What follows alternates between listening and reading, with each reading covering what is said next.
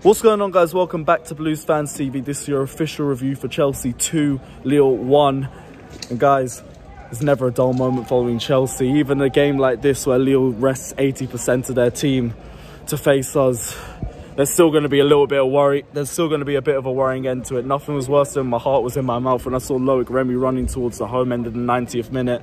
But that was only the, that was the only real worrying part of that game. I'll be honest. We dominated the game for most of it.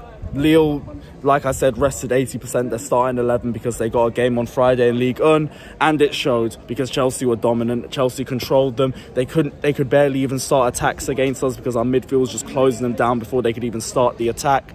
I thought our entire right side was just unstoppable today. Willian, Kante, Azpilicueta, all of them. Big up yourself. You're brilliant today. Kovacic, Kante and Jorginho as well controlled that midfield and they were the key part of this team today because they were the ones snuffing out any Lille attacks before they could even get out of their own half. We controlled them today. It was a very easy game. It was pretty easy to talk about as well. And for my man of the match, there's a couple of players that you could shout out. You could shout out Azpilicueta, I think has definitely shone over the last couple of games. Or you could talk about Kante's performance. I personally want to give Kante the man of the match, but I think everyone on that right side deserves some props today. Also want to shout out Kovacic because again, this guy is just continuing.